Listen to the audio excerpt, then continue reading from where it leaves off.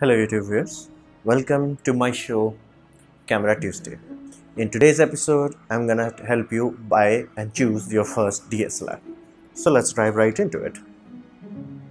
So these are the three factors that you have to pay attention to.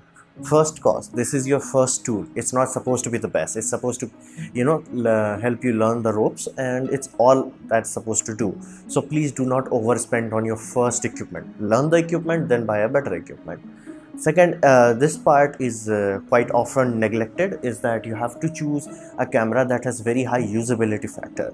Like in modern day uh, it would be like having touchscreen compuls- it's a compulsory factor. And third but not the least is performance. Like don't buy so cheap that it does not have the performance. So these three crucial aspects and in this order because it has to be affordable obviously and it has to be usable. After that you choose about performance because if you start going from performance uh, you will be like okay this camera is no good this camera is no good this camera unless you spend a lot of money. So in this order you can you know narrow down your search. So what to look for?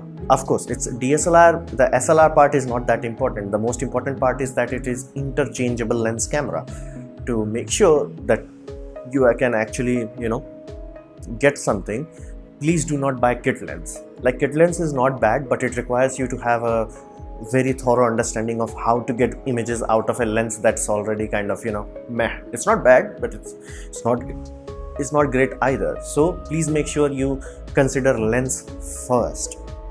Then you have to understand uh, focusing system. This is the uh, very easy to discern because if you buy a cheap canon dslr some of them have a very ancient 9 point autofocus system for the viewfinder and some have 55 points. So you can easily you know gauge how good or bad a system is. So focusing system matters because like let's say you have a okay kind of lens with okay sharpness and uh, your focus system is uh, you know spot on you're gonna get images good images. But you have a very sharp lens but your uh, you know autofocus misses so focus does matter. After that you have to choose for uh, ease of use. Now these are the few components that you should pay attention to. First is a touch screen because nowadays everybody is coming from a smartphone. You need it. Not that you cannot live without it is your camera will become a paperweight if you try to do it. And then this uh, flip out screen and uh, because we live in a selfie world whether you like it or not this sort of thing uh, matters a lot. And it's very important for videography and i'm using it as we speak. So these are the few components that you can look for. So by narrowing down all the data i have provided for the first beginner canon seems to be the best you know choice. Why i'm saying that? First it has a very good lens selection. It and nikon has almost the same lens connection so it has a very good lens correction and second it has good interface. Now this is where nikon you know shits the bed. Basically nikon does not even give you preview uh, exposure in your live view. And they have very very terrible live view focusing system. And uh, you might say sony here's the problem. It does not have good lens choice. Panasonic and uh, fuji same. They, they are more geared toward like panasonic is specifically geared toward video vloggers.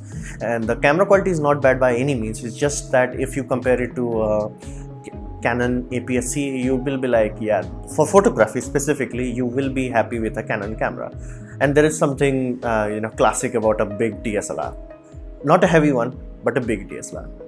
And this uh, third part is very important is third party support for canon is quite high like for instance uh, for canon you can easily buy a remote that allows you to do intervalometry and basically you know time lapse photography because they have a port that is so simple that you can build it at yourself. It's basically old uh, headphone jack. It's a normal headphone jack is 2.5 mm that's 1.5 uh, 2.5 mm is the headphone jack that canon accepts and normal headphone jack is 3.5 mm. So uh, using uh, these third party accessories like remote and uh, magic lantern and all there are a lot of uh, other supports that you can do. It allows you to use your camera to its full extent. So third party support matters. This is where sony is almost zero. Like nikon because it's been you know going around for so long they have it.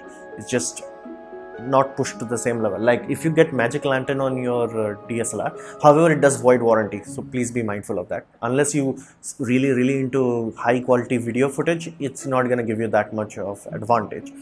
And there I'm, I'm recommending some lens selection. I'm recommending 18 to 135 not 18 to 55 because that lens while kit lens is not horrible if they are uh, keep reducing the aperture so at this point you're gonna be very disappointed. And everybody expects that you know you're gonna take a DSLR photo you want shallow background. You're not gonna get it. So suffice to say if you buy 18 to 135 you get range. At least you feel like you know when you are zooming in it's not like 3x zoom this is 5x zoom lens. And if you want very if you do a lot of you know outdoor photography environment photography building photography you gonna you can buy this 17 to 50 uh, 17 to 50 millimeter sigma lens. This is f2.8 constant so it does not shrink down. So these are two good lenses to get you started. Uh, if you are like very new i would suggest you go with 18 to 135 and if you are like serious about photography uh, brighter aperture of sigma matters. And these two lenses are relatively cheap. So and uh, i cannot understand like you can get any camera even sony cameras but their autofocus system does not match up to dual pixel autofocus. Like it's not day and night but of course in from nikon to canon you'll be like dude is this made even in the same year or same technology? So all things considered all the six variable i mentioned in the earlier slides all things considered canon at this point provides you the best bang for your buck. Now let's say i recommended the lens which camera you can buy? 800d 7070 these are quite good and i'm reasonably sure in next year they're gonna release the new one so as of now, as of making this video, all things considered, Canon is the best starting point for a beginner photographer. So that was my presentation. Hope you guys liked it, learned from it. In that case, please like. If you didn't, dislike, leave a comment, subscribe, press the bell icon so you can get notified every day. Thanks for watching.